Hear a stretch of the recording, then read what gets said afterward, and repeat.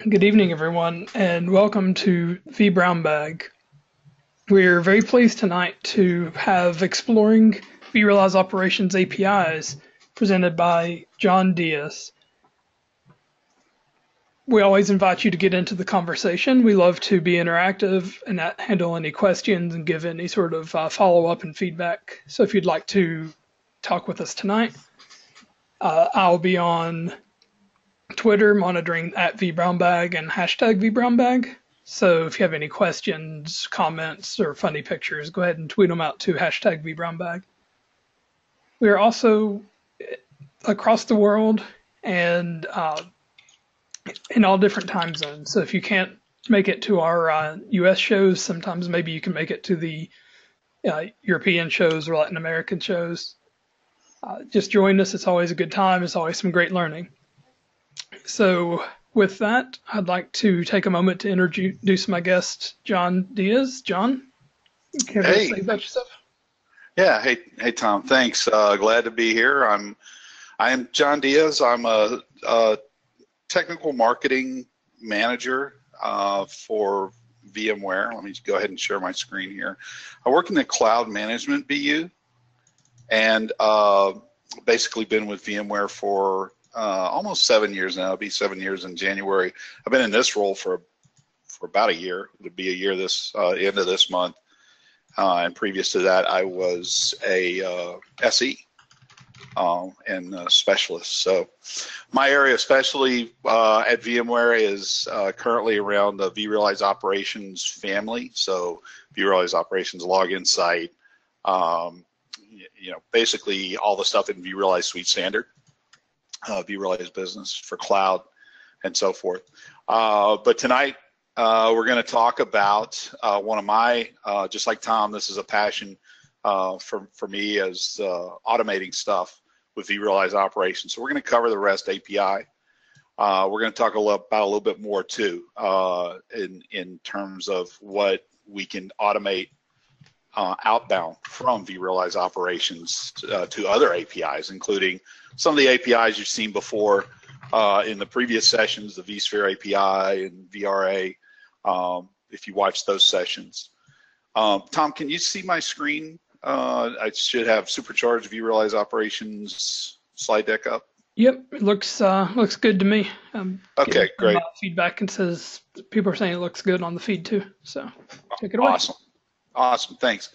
Okay, so uh, what we're going to cover tonight is uh, I'm going to answer a couple of uh, you know questions of, of why, and, and, you know one of the reasons that I proposed this session, and I'm, I'm glad that you know folks at vBrownBag uh, allowed me to do this, is you know when it comes to APIs and automation, people don't really think about our operations stuff as being part of that universe, if you will. So we'll talk about some use cases or why customers uh, why we I've seen customers or work with customers that have wanted to extend VR ops, um, you know, using uh, scripts, uh, APIs, and, and so forth. We'll go over, of course, the REST API that uh, comes with vRealize operations. Uh, we'll talk a little bit about the uh, VROps module for Power CLI, and Tom, you have some experience there, so hopefully we can we can draw on that as well. Uh, and then finally, uh, if time allows, we'll talk about uh, automating alert notifications with something called webhook shims. Um, it's a little bit different than uh, uh, you know the using the API, but uh, it is a powerful capability that allows some program programmatic extension of VROps that I think uh, everyone would be interested in. So I'm assuming that you've already seen the other webinars on VMware APIs or you're familiar with VMware APIs. Uh, and if you watch those, uh, at least with, with Kyle and Jad, they did a good job talking about Postman Client and how to use some of the basic features there. I, I, was really glad to see that because that will save me some time tonight in not having to explain some of the more basic stuff. So I apologize if if I if I use if I go into Postman and I kind of skip over like how did I get here.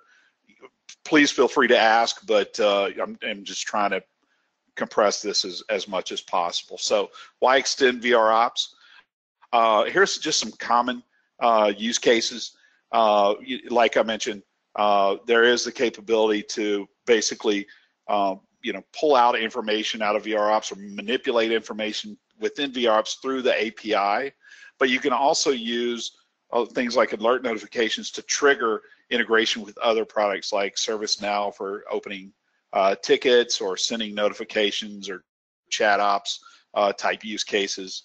Uh, and then a lot of times people like to just pull out information out of VROps because they want to combine it with other information from other other monitoring tools and systems. Uh, and uh, you know that is definitely a valid use case. We actually have a tool for that uh, that's that's now a Fling, but it leverages the API. It's basically someone wrote some Java code that leverages the same APIs you're going to look at. So you could use that tool, or you could you could roll your own. But the biggest thing to me is that you know when you think about operations in an IT environment, and you hear you know you hear all this noise about DevOps, um, you know they they both have ops in the name, uh, and so we shouldn't as you know as as IT operations teams we shouldn't be afraid to dig into this type of stuff. And I know the people attending these sessions are are, are very much uh, believers in that just by virtue of, of your level of interest.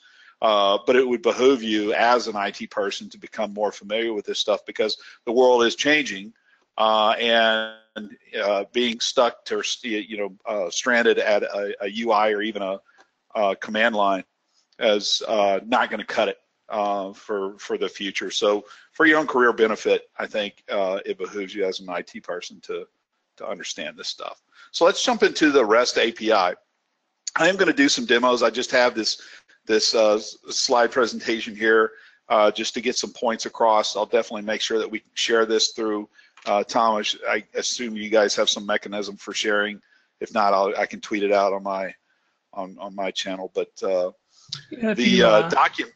If you tweet out a link or something, we can put it in the show notes. No problem. Okay, awesome. So I'll do that. But uh, they're really the the documentation is a little bit different with VROps and what you may have seen from some of the others. The others that uh, were, were showcased, the, the uh, vSphere uh, and the and the uh, VRA, have a more modern kind of swagger uh, documentation set where you can interact with it. Uh, VROps still today is still kind of a static, but very useful. Um, very useful uh, documentation set. So I'll go into you and into it and show you how to use it. It is located on the um, uh, device itself or on the uh, appliance. So when you deploy VROps, uh, the URL uh, or URI here will take you directly to this uh, the the page where you can get started with that documentation. So let me instead of going through slides, I'm going to cover the stuff that's in these slides uh, and and uh, do it live instead of kind of boring you guys with the details. And then you can refer to the slides as kind of backup. So you can see here that I went in my lab to uh, the IP address of one of my uh, ops nodes and just just did suite uh, dash API. And this allows me to get to the welcome page. Now, a couple of things on the welcome page. Uh, you can go directly to the REST API documentation, which we'll do in a minute, but there's also different clients. There's a Python client, there's a Java client. So if you are uh, using either one of those languages or you prefer to use uh, one or the other, then it may behoove you to look into those clients. Uh, I'm not going to cover those tonight, but I just want to make sure that you were aware that those were, were available to you. So we'll go into the REST API documentation and Across the top, what you'll notice is that uh, your uh, the first tab that you you land in is public APIs, and these this is basically the working set of everything that you know is available uh, to you. So it's broken down into APIs for uh, you know things like actions, adapters, uh, all the way down to uh, credentials, resources. Uh, there's a section of alerts, report definitions, etc. Uh, the biggest area where I think initially people spend most of their time is in the uh, resources API uh, because that's where you can start to extract information from VROps and then later you can use this to inject information into VROps like add properties to a virtual machine if you wanted to or if you wanted to create your own metrics and pump those in uh, you could certainly do that. You can even create your own resources uh, as well. And, and one example of that that I'll talk about uh, later is creating uh, an endpoint operations manager uh, remote monitor programmatically through the API instead of going into the, the UI to do that. And the reason you would do that is if I wanted to create uh, those in bulk, there's no way to do that through the through the UI. Uh, then you know I could leverage the the uh, API to do that and create all of those remote monitors. Say I wanted to monitor um, a, a service or service monitors, I should say, not remote monitors. Say I wanted to monitor, uh, you know, I don't know, SSH on, uh, you know, hundreds of servers. Uh, it would be better for me to use the API uh, to do that than to go in and create those. Uh, if I wanted to monitor a service on a new VM that was spun up through vRealize automation, uh, then I would use the API as, as part of the extensibility in, in VRA to automatically add those those service monitors, for example. So just some examples of things you would do. Uh, after, uh, in addition to the public APIs, we have internal APIs. Now these are available, they work, uh, they, uh, they, they work quite well. The problem is, is that as you know, they may not be supported in a, in a future release. Uh, doesn't mean they're bad or they're going to blow up if you use them. What it means is if you write some code that leverages these, then you you should be aware with every release you need to verify that that that API still works with your code, that nothing's changed or it hasn't been deprecated. Uh, hopefully it's been moved into the public API. The most common one here that people use are create and manage custom groups. Um, so this is probably the most popular one. I have some examples in Postman that I, I can show you uh, on that, but that's probably the biggest one uh, that, that people use. Uh, the next tab is model representations. Now, this is important when you get into the API and you're looking at, for example, uh, you know, some examples on things like creating a resource. So let's go down to um, uh, create resource using adapter instance. Okay, when you look at uh, this uh, API, it tells you, you know, what the API does, and here it'll show you uh, samples. You know, so kind of like with the uh, with the other documentation, the more modern Swagger documentation that you've seen presented for some of the other APIs, we still have examples. It's just not as dynamic as those where I can actually try it from here. And this is really why I heavily rely on Postman uh, for, for testing, at least initially. So the samples, uh, they'll show you uh, both XML and uh, JSON format. And uh, as you look at these, you may be wondering, well, what you know, what is all this stuff? You know, what are all these fields? What do they mean? So if you go down here, you'll see that there's usually, uh, you know, for something that's a post or a put, uh, some, you know, some API that writes something, uh, there's usually a request body content, and it points to a data representation that uh, is in this model representations tab. And all you can do, all you have to do is simply go uh, click on it, and it'll pop you right over to that uh, namespace. That's what NS stands for uh, to that resource namespace. And then here are all the different fields that you would use in the body of that request. Uh, the data types themselves, you know, of course, a description, the data types themselves, and whether or not it's required. Okay, so you can kind of use this as a roadmap to figure out, you know, when you look at that example, uh, because the, a lot of times the examples that are given will have all of these fields. That doesn't mean that you need to include all of these uh, in your in your request, just the ones that are required or just the ones that you want to modify. You'll also notice that some of these refer to other uh, data models. So for example, uh, badges or resource uh, status state, and you just click on those and you can you can you know figure out uh, you know what components of those you need to include as well. Um, and the other thing that you'll see too is that uh, you'll have things like, let me find a good example. Uh, this is a good one. So you have this namespace uh, resource relations. And what this is, is basically a container or an array, however you want to think of it. Um, I don't have a coding background, so I'm probably really abusing uh, the, the, the language or the syntax here, but uh, it's a container for one or more of uh, the resource relation uh, type. Uh, so uh, that's, you know, you'll see that kind of thing. That just indicates to you that you'll have to format your XML or JSON payload to accept an array of, of these types of, of objects. And indeed, when you go back and you look at the example, um, get back to the example here, you can see that that's that's kind of what they're showing. So the examples are really, really good for uh, for getting you started.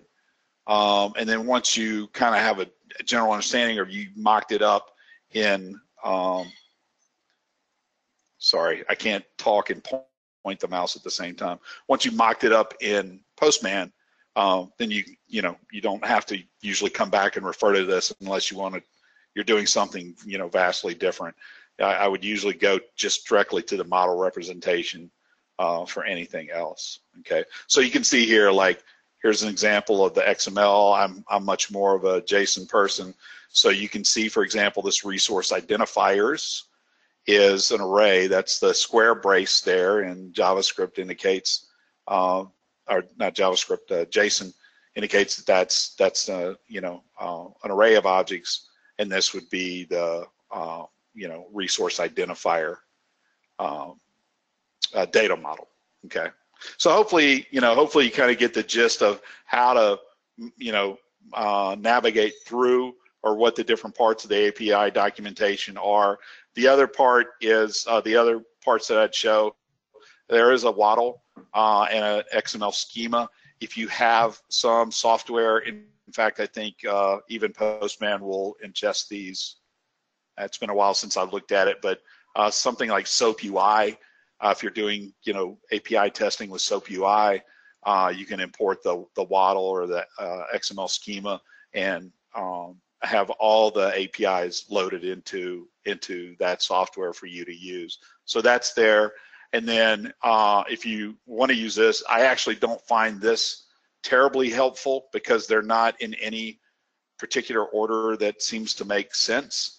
Um, but uh, that is there. So for whatever that's worth, probably the best thing to do if you're looking for a particular API is to just good old control F and say, you know, resources and uh, use that kind of methodology to navigate your way around. Now, having said that, John, yeah, question. Uh, I've got a question from Graham. He says, "Is there any way to automatically verify internal APIs, or is it a question of reading the docu or docs every time?" Well, what I would do if, if I if I wrote, first of all, there are not a lot of them. So if you wanted to do an eye test, you probably could.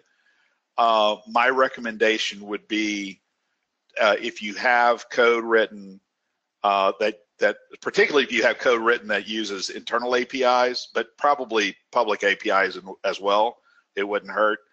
Uh, I would test your scripts against a test instance before rolling, you know, before upgrading your production instance. That's probably the best way.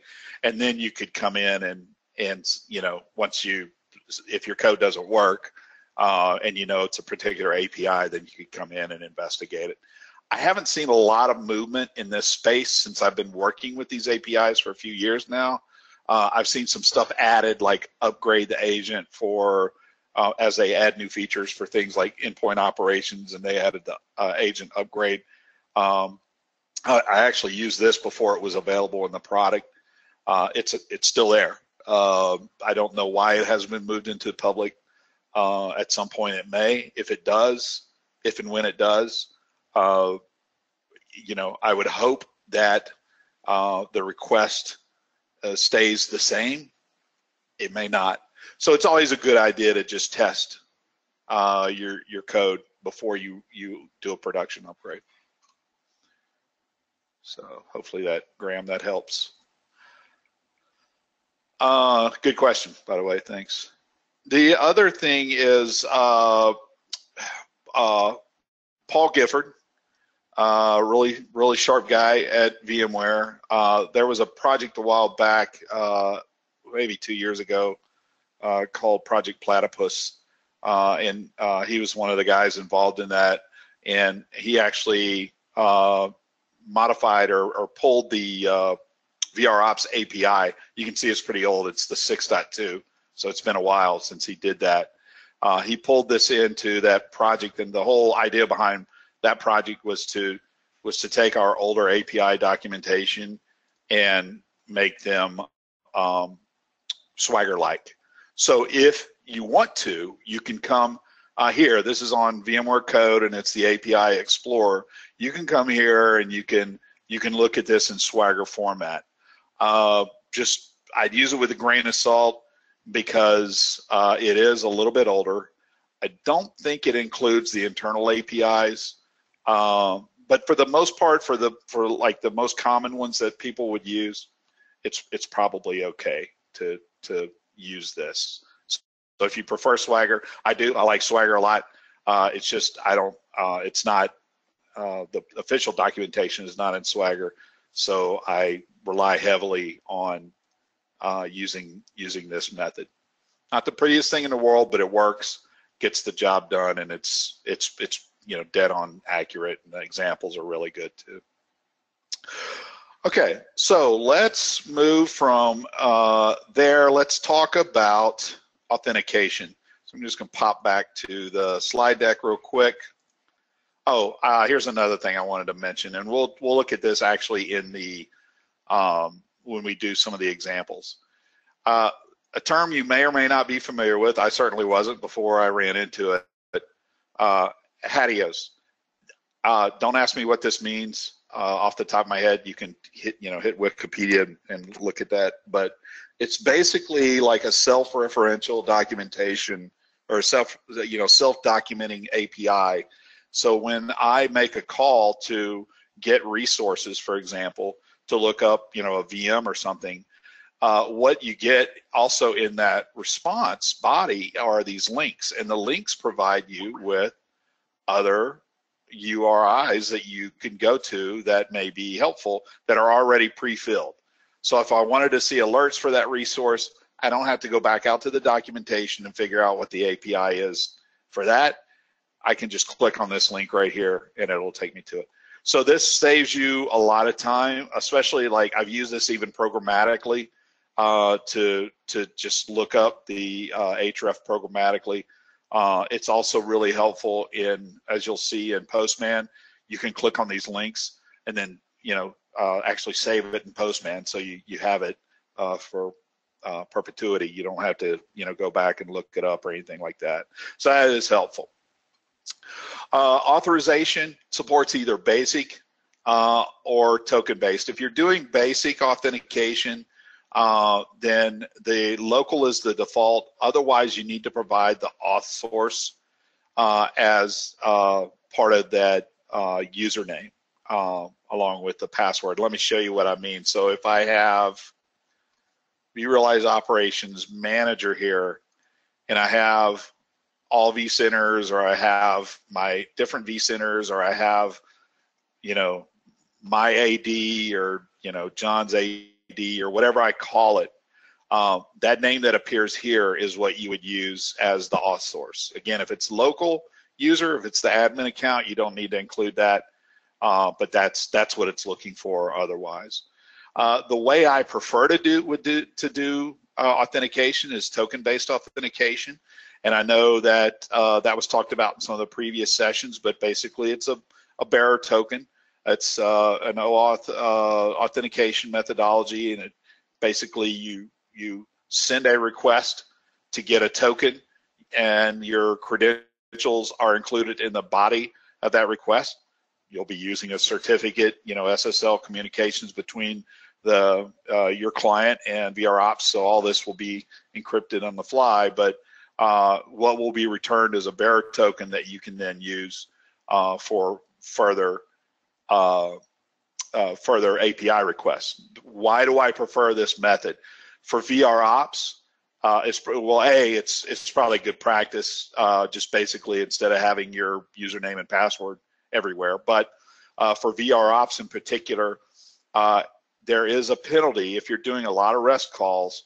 Uh, if you use the basic authentication, then it goes out and authenticates that ID every time. If you use token based, uh, it's going to be a lot quicker. It's just going to say, "Yep, this token's still valid. Uh, go forward and and and uh, seek your your fortune, my friend." And so uh, use that. That's a that's kind of a performance tip as well. I have some other performance and best practices just to keep in mind. Uh, you know, again, use bearer token for repetitive uh, REST calls. And if you're making a lot of queries, I see this uh, a, bit, not a lot, but I see this a bit with uh, when uh, customer, I'm trying to help customers use this. Uh, if they want to get a resource, for example, they want to get like all VMs that start with the, you know, their name starts with the letter M or has SQL in it or something like that. So uh, what I've seen them do is do like a get uh, API resources and like do you know like and you'll see how this works in the example, but you know name equal you know and then SQL something like that, uh, and then they'll they'll like keep making that request for every you know type of iteration that they want to uh, retrieve VMs for, or even if they have the resource IDs, they'll make one GET request for each VM. This is not a good thing to do. It's okay if you're doing a single request to get a resource. If you have hundreds of VMs uh, to do, or even tens, honestly, tens of VMs, uh, it's better to use a query. And so you'll see in the API documentation, and you'll even see in some of my examples, it'll say like, get something by query. And what this means is that you're probably going to have to build out a, a request uh, payload body that uh, has your criteria for getting those resources, it's a lot faster for VR ops to respond to this. There's a penalty also um, on your cluster if you have a lot of users hitting the web server and stuff like that. This is also going to put, uh, you know, a, a, load on that. The response time for those users is going to be slow. Those users in the UI is going to be slower if you're really pounding away on the API. So it's better to optimize your code for that. So hopefully I didn't uh, pound that uh, into the ground. Uh, this is my, I'll tweet this out too, and I tweeted it earlier today. Uh, I have this on, on uh, VMware Code website as, as well, but I have a uh, VROps Postman collection in GitHub that you can um, you can use. and if you downloaded it earlier, you can follow along and and and and ask questions if you run into to problems as we go through this tonight. So let's talk about some of those use cases. Uh, in my uh, example, a couple of things from the download, you'll get all this stuff. And every time I update these use cases and, and so forth, uh, Postman is automatically going to push those out and merge them with my GitHub repo uh, where I've got this stored. So it'll always be up to date. That GitHub repo will always be up to date as I make changes or or improve uh, some of these use cases or add new use cases uh, to this. I also have an environment uh, that uh, is provided. Uh, you can download, and it's just example uh, information in here. The bare minimum information you need is basically the VROps IP address or FQDN, username and password, and then the bearer token will actually get at, automatically added for you. So these three are the only three that you really need to get started with this. And I'm just going to go to my uh, other example. So in my lab environment, you can see that I've got a lot more uh, environment uh, variables here in my environment. And these are actually added uh, as I make the requests. Uh, so nothing to really worry about here, but you'll probably see these as you play with some of the examples. you'll see this grow um, and you'll see these additional uh, environment variables used and you'll understand in a minute what what what they're doing there. So the first thing I want to do is authenticate. And of course, when I authenticate, I have that username, uh, password. I do have the auth source in here just you know because it is an example. I don't have to have it. Uh, it's automatically soon to be local. Hey, Tom, uh, was there a question? Yeah, there's a question. Can you share the GitHub repo URL again? Yeah, sure. Let me go back to the slide deck.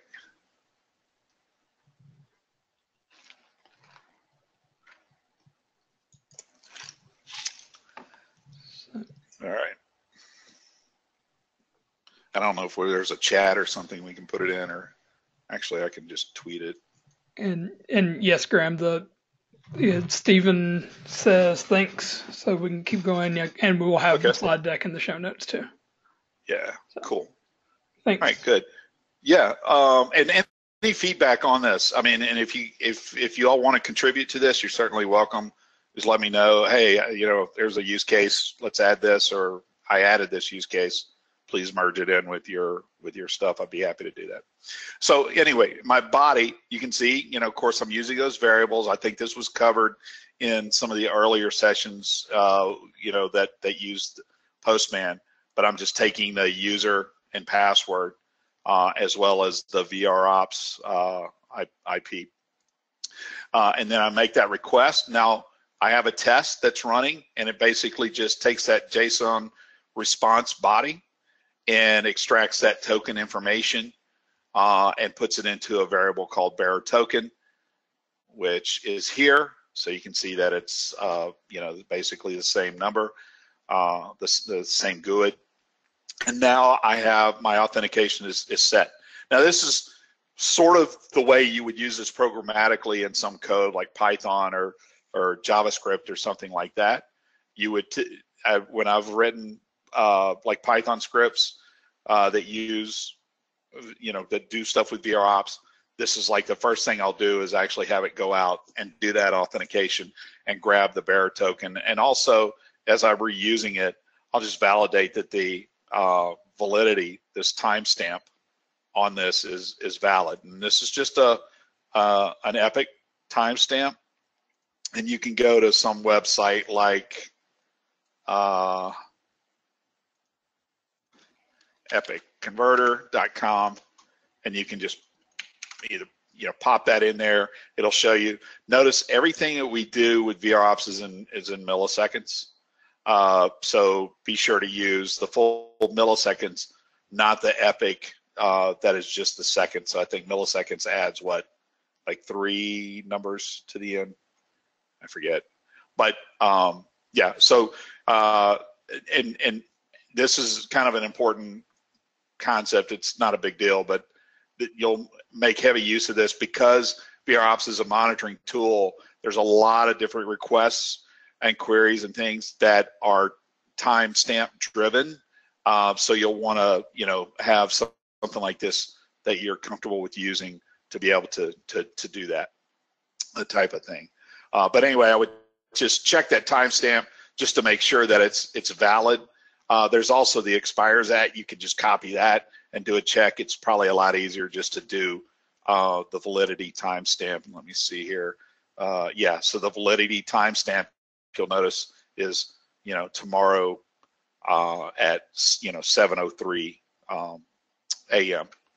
Uh, so um, just another little tip for you uh, there. It saves some time and just um, I've even written subroutines that go or uh, functions that say, is it valid? If not, you know, refresh the token. As long as you keep using the token, uh, then it will it will renew. It'll it'll stay uh, fresh, so you don't have to worry about that. But if uh, in some cases I've written scripts that go out grab a token and just wait for somebody to make a request, so you'll definitely want to you know if you're doing that kind of thing, you'll want to make sure that token's valid. Now, some of the popular use cases that we have here, uh, probably the most popular one is around resources. People want to just get, uh, you know, find a virtual machine and get information about it. What I like about this is um, this is a lot quicker, and a lot of times I'll find myself doing this, popping up Postman and running this query uh, or, or running this API instead of going into the UI, logging in, searching for it, and and so forth. There's a couple of reasons. One, because it's it's faster uh, than you know you know do going through all those steps, and also you get more information uh, in a concise place about the resource uh, than in the in the UI. What I mean by that, for example, here's the VM ID. Uh, this is usually virtual machine, you know, v, uh, virtual administrators typically, you know, live and die by these MOID um, numbers, right? When they're trying to troubleshoot problems or they're looking at logs, things like that. So that's there as part of the uh, resource identifiers. Uh, you'll also see, of course, the the uh, VM name. You know, this is a VM object. The uh, VCID uh, you know, that uh, uh, ID of the virtual center that manages that virtual machine. Uh, you can also see the state uh, as well as the different badge scores. And then here are those HATEOAS links, those referential links. So now I can start doing different things like, well, I want to see the properties of this VM. I click on that and you'll notice what happened is it opens up another tab within Postman and I have Postman set to already just pre-fill the headers for me with those VROps headers that I want with the bearer token uh, and my uh, accept header. And all I have to do is click send. And now I've got the properties for that resource all here. Very easy, much quicker for me to get to, um, even if I'm not using this to write scripts or anything like that. Uh, now, what I can do is I can, uh, you know, obviously search uh, this within um, uh, within Postman if I if I want to do that, um, uh, you know, or if I like the way that this, you know, this is this is some bit of uh, this is a good API. I want to use this and I want to put in my code. I would click the code button and say, yeah, I want to do this in Python requests, and there you go. It gives you the all the code that you need. You just copy that to clipboard and pop it into your into your code. Uh, you may have to make some adjustments. It adds some annoying stuff like the Postman token and cache control. I usually take those out. Uh, but this is another reason why I use Postman. Not to, I'm not getting paid by those guys or anything like that. But uh, the the reason that I use Postman to test APIs and and kind of test things out before I script them is because a lot of times I don't know what script language I'm going to use. I don't know if I'm going to use, you know, um, I don't know if I'm going to use Python. I don't know if I'm going to use uh, JavaScript, uh, if it's going to be a shell script. Um, you know, maybe I just want to send an example to a customer in curl. You know, it's like, yeah, just run this and it'll give you everything you need. So it's a lot easier for me to just have those APIs uh, examples here and then be able to pop out and get the, get the code. Okay, so properties resource, that's pretty easy. Uh, the biggest thing that people want to see though is they want to get stats from a resource.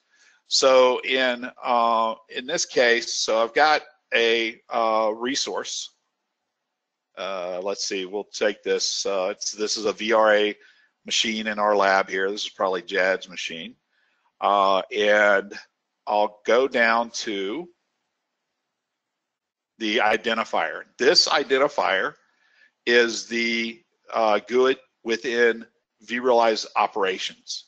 So this is an important piece of information. Every object within vRealize operations has an identifier that looks is formatted similar to that. So if I wanted to get the stat keys for that resource, you see I have a resource ID um, a resource ID environment variable. So I'll just fill that in. We'll just work with that one. And send. Oops, I'm missing a. Uh, oh, it's coming back in XML. I'm not. I'll just add accept because I don't like working with XML application JSON. Send it again. Um, and there you go. So I have all the stat keys. Uh, and these stat keys are, uh, when you're in VR ops, for example, pull up a working instance or that I've already logged into. If I go into VR ops and I look at an object and I go to the All Metrics tab for an object, you'll see the metric, the different uh, metric keys listed here in, in plain language. But uh, what when you're working with VROps programmatically, this is not the name that you want to search for. In fact, sometimes it doesn't even match. This is like the friendly uh, human readable name, and this is the, the actual key, uh, the key name. Uh, so to get the real, the actual key names, uh, you'll want to do that through the API so that you can get the exact format, spelling, you know, everything for those. Uh, and then once they're listed here, I can then take and get um, the stats uh, for that um, uh, for that resource and for that stat key. If that makes, uh, hopefully that that makes sense. Um, another way that you can retrieve stats, uh, and notice I have the not query here. So this is an example of of something that I may do for a uh, single, um, you know, resource and not, you know, in mass or anything like that. But I have um, this API resources resource ID slash stats and then I have a query here, this question mark uh, starts a query, and I have a begin period, an end period. I have things like interval quantifiers, interval type is day, so I want one day, roll up is average, and then my stat key, mem host usage. Okay, that's uh, actually probably, I probably should have just stuck with whatever. Actually, you know what, let's take, let's use that one. Let's go back here. Let's grab, uh, let's look for something CPU. CPU.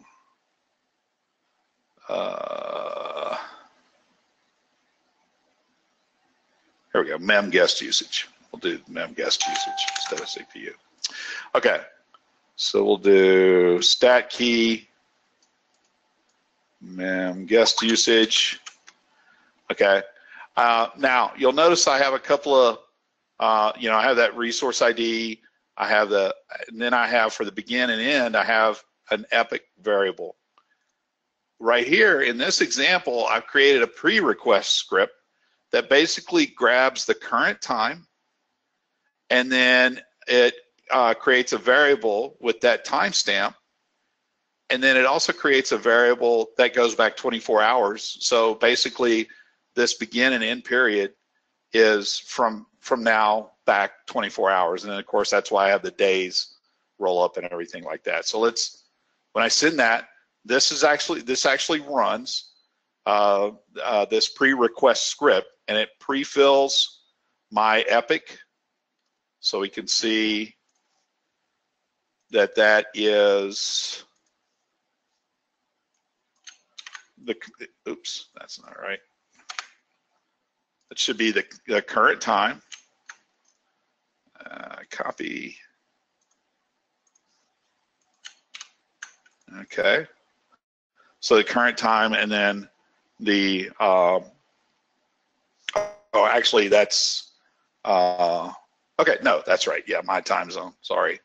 Um, and then the next one should be, if I wrote this correctly, which I assume that I have. I hope I have because I've been using this for some time. Okay, and then that's the previous 24, so it goes back to yesterday, yesterday evening. Okay, so I'm grabbing the past 24 hours for that, and then here's my return. Here's my timestamps. You know, it's basically one day average, and then here's the data uh, for that uh, right here, my mem uh, guest usage. So that's that's an, an example of a single uh, query. I have examples in here. I want to move on because we're we're getting close to the to the hour here, but uh, I have other examples for just getting like top end stats, uh, getting uh, you know multiple resources, and then getting. Uh, so here's a bunch of resource IDs. You would obviously change these for your environment, um, but that's an example of you know getting a bunch of uh, resources um, through a query instead of doing them one off. This would be the best practice, and then you could do things like you know get uh, get the stat keys for those, and then get like top end stats, for example, uh, for those. Uh, the other uh, one that's uh, a frequent request, probably not as popular as doing stuff with resources like getting statistics and things like that, is uh, adding those resource monitors that I mentioned. So I have examples here. Uh, this is kind of a multi-step process, and you'll learn that with with APIs, particular with particularly with VROps. A lot of times you're dealing with, uh, you know, I have to fetch this information first before I can fetch the next bit of information, and that's what's really going on here. So if I want to add a service monitor for a Windows uh, EP Ops agent, endpoint operations agent, I can do that. Uh, you know, but first I want to get uh, the agent that is going to be, you know, monitoring that OS. So I can look that up by name. You know, I can do some match here and go, yeah, give me give me the agent that starts with IIS, and then I get that uh, agent uh, name, and I take that and I pull it into uh, a variable as well, and then I can get the uh, the resource ID uh, for the OS itself. I'll need that because I need to create relationships between the service monitor and the resource that I'm monitoring. So here next I would go create uh, a Windows service monitor and my body would describe that service monitor. You're going to want to refer to the documentation on this, at least initially, until you know what you know all these fields are. Uh, some of them I have variables in. You'll notice that agent ID is right here. I've got to have the agent ID in a couple of places um, in the uh, payload, just so that this uh, monitor that I'm creating to monitor Windows uh, time service understands which agent it belongs to. Uh, I'll send that off, and when I send that uh, send that off, I got a 422. Actually, I think I oh yeah, it already exists. I did this uh, earlier in the week. Uh, I forgot to go in and delete it. But once I create it, then I have to create a relationship between that uh, monitored resource and the uh, it needs to be a child of the OS resources. That's why I had to grab that OS resource ID. And then I would run this add a child resource to a resource um, to make that happen. And then the last thing I have to do is actually start monitoring the resource. So these things are done like behind the scenes for you normally. If you were to do this through the UI, you know, you don't think about all the steps that are involved. Uh, so when you're doing this programmatically, a lot of times, you know, you have to understand the, all the steps that are involved. And it took me a little while to kind of put this together and figure out, well, I got it created. Why isn't it monitoring? Oh, I need to start monitoring. So, but the good news is that, you know, once I figured this out, I have this here, and then you can just take all of these and then use that nice code function in uh, code snippet function in, in Postman and use them in your in your scripts. Okay, I'm going to pop out a Postman and talk about a couple of other things before we before we wrap up. Uh, hopefully that gives you a good idea for you know how to use it, the things that you can use it for. Uh, talk about uh, Power CLI. I know a lot of folks are big users of that. Uh, the module was introduced uh, a couple of years ago. It still has the same basic 12 uh, commandlets uh, that are there, authentication. Uh, there's some get resources and alerts. I actually have a uh, blog on this. Yeah, I have it listed here uh, where you can go out and um, you know run through some of the more basic stuff and then pulling uh, metrics, aka uh, statistics, in, from VR Ops through Power CLI, getting recommendations for alerts, for example, handling alerts, you know, uh, canceling them or taking ownership, that type of thing, and even using the full API through the plugin itself. And I was talking to to Tom about this earlier because you know Tom was sharing some work he had done uh, using with VR Ops and, and Power CLI, and uh, I, this part three, uh, I, I think it's kind of interesting that we can do that. For my money, it's probably easier just to you know take these um, uh, these examples here uh, or do something in Postman and then make just a, a regular REST client call from PowerShell uh, than to try to do it uh, through this mechanism. But it's good to know, I guess, how to do either one of those. Tom, anything to add on this? I know you worked with that a bit, or yeah. So first, uh, I've got a few questions that uh, came in before the uh, Power CLI part. So, okay, sure. It's from Stephen. I recently installed the VMware Service Discovery Management Pack. I've not looked yet, but will there be will that adapter be available via the API? Yeah, so all the adapters are essentially, but um, they're not uh, called out specifically. So we don't have, for example, get back to my uh, API documentation. So we don't call out specifically uh, APIs for uh, VMware adapter or anything like that. What you have is this generic adapter kinds uh, uh API, and that allows you to modify, configure, add um, adapters. And then once you do, once, assuming you have an SDMP installed and and you have an adapter configured, you could conceivably uh, manipulate those services that are discovered by Service Discovery Management Pack through the resources API. So it's not cut and dry. It's not like, yeah, if you're using SDMP, use this set. Uh, it's you have to think more generically when you're when you're dealing with the with the API. So hopefully, if that let me know if that answers your question or not. But yeah, it's kind of it's a it's a multi-part question. So it says I'm okay. Uh, researching if we can stop using ServiceNow application dependency mapping and feed relationships from VROPS into the C- ServiceNow CMDB. Also, how can I execute the running of a report on an object and retrieve the PDF or CSV from the API? Is that possible? Oh, yeah, that is possible. Uh, let me take that second one first. I love this. Um, I have a reports example here. And so again, uh, there are a few things that you need to do. Uh, if you don't know uh, the report definition uh, that you want to run, uh, you need that that name. You can run this report, get report definitions. It'll come back with all the different reports that are available. Uh, we'll let that run in the background. And then once you have that, then you can actually generate a report uh, using this uh, post uh, method. And in the body of the report, you have the report definition ID.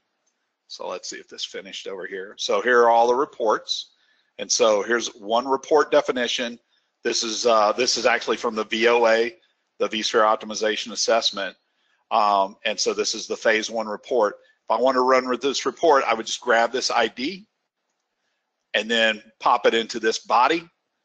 Uh, and I'll also want the resource that I want to run that from. So in the case of like I'm running this optimization assessment, typically we run that from a uh, cluster or from a data center. So I would grab the object ID for whatever data center, the resource ID from whatever data center that I wanted. And if you remember, uh, you know, everything's got an ID.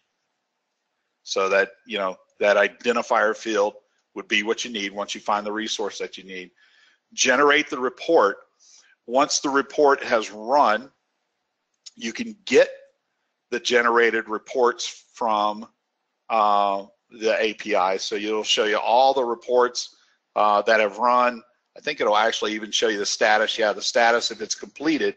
And then once you have the report the generated report ID, it's, it's finished running, take that ID, and then you can run the download reports, and then on that you can specify the format, CSV or PDF, okay?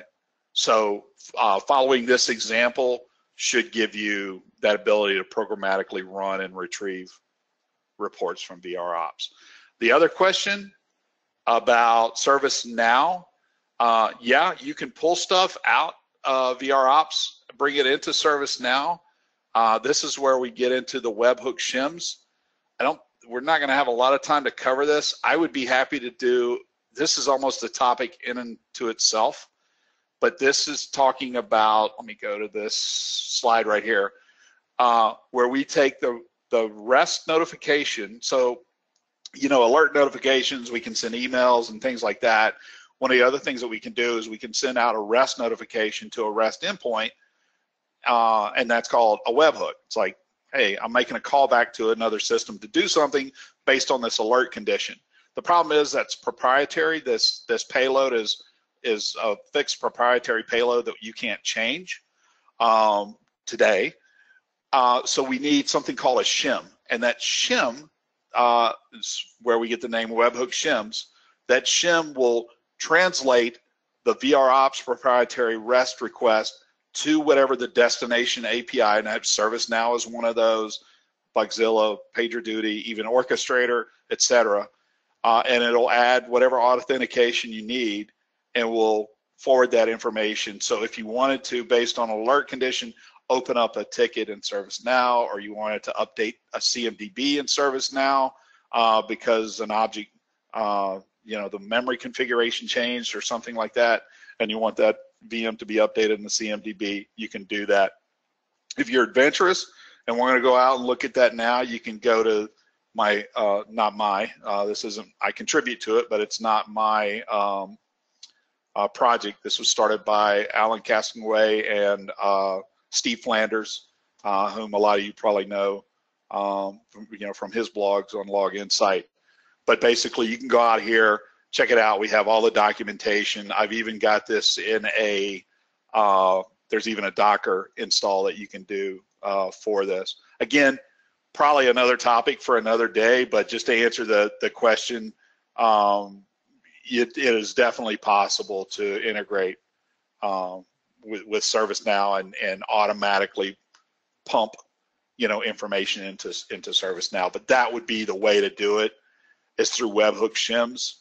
Uh, otherwise, you would be, you know, if you didn't want to do it based on some alert condition, then you could just, you know, write up uh, some code or program that would just use the API, extract the information and forward it on in some scheduled basis or something like that. Uh, okay, yeah, and I, I wanted to get back real quick to the the power uh, CLI piece. Uh, Tom, I just real quick pick your brain on. I, you had mentioned some stuff you had done and your experience with this. Um, you know, just any thoughts you had on or any additional information on that. Yeah, the uh, the Power CLI um, modules for VROPS. I'm glad to see that they're getting you know, more attention. They're getting blogged about, and they're becoming more full featured. Because six eight months ago, I was working on a script to to do a health check on a virtual machine instead of having to go to three or four different places, and it was almost like the Wild West at that point, trying to figure out how to uh, to figure out what the recommendation for CPU size was on a virtual machine. Yeah, it's it it can be daunting. Uh, I think uh, again, and it excuse me, in this blog series, one of the things that I actually point out is, you know, you even though you're using Power CLI module for VR Ops, it's probably helpful to go ahead and pull up the uh, VROps API documentation because it helps to explain, especially the model representations and so forth. It helps to explain a lot of that stuff, like how I want a daily average or I want I want an hourly average for the past week, you know, or, or the maximum. How do I get that? You know, what what what keywords do I use? What does that look like, or is it even possible? So the the module itself doesn't really explain that. All the capabilities are there. you'll need to go to the API documentation to get the full details of that. So good, good, good point. And uh, that kind of feeds into a question from Graham of what's the uh, timeline for making the Power CLI module f- fully featured? Uh, that I don't know because that actually, uh, if, if Kyle's uh, around listening, I saw him tweeting earlier. He may be able to speak to that. He'll he'll probably say, "Hey, uh, when when John tells me, you know, what other capabilities we need in it." So I think a lot of it depends on. Um, I mean, anything's possible. It's a matter of uh, resources and time. So uh, I encourage people to give feedback. You know, either through Twitter or social media, whatever, directly uh, to you know myself, people like myself or Kyle. Hey, I, I wish you had this capability in there, and we can then prioritize those uh, instead of you know trying to wait and get everything in. Uh, we can focus on the things. It'd be much easier to focus on little bits that are important to people. So, um, any feedback along those lines is greatly appreciated. Awesome, thank you.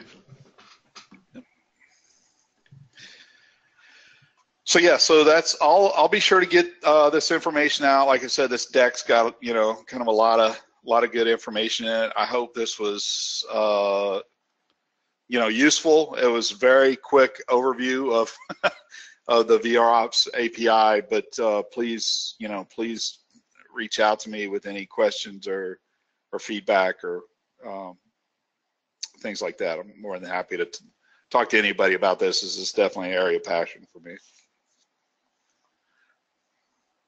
All right, I've uh, been answering some questions uh, and telling people to contact you, so you may you may uh, have a lot of tweets coming up pretty soon.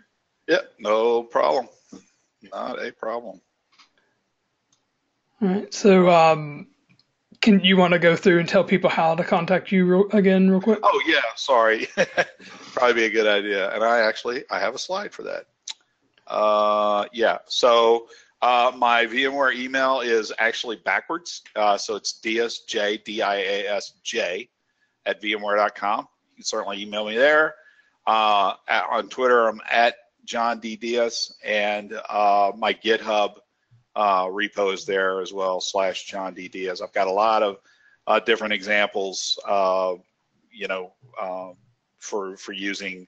Uh, I think I actually have the PowerShell, some uh, um, uh, Power CLI for VR Ops examples out on that repository as well. So, um, good good place to check out. So, yep, ping me. always always happy to talk to folks as they're exploring this stuff. Thank you very much. Uh, we appreciate it. It was a great session. We'll have to uh, follow up on those uh, webhooks and shims. That, that sounds yeah. really cool. Yeah, absolutely. Let me know. I'll be happy to come back and we'll we can do a we can do another hour on on that for sure. All right. Um, and I guess with that we'll call it a night. So thank you again, John. Thanks everybody for for showing up. Thank you.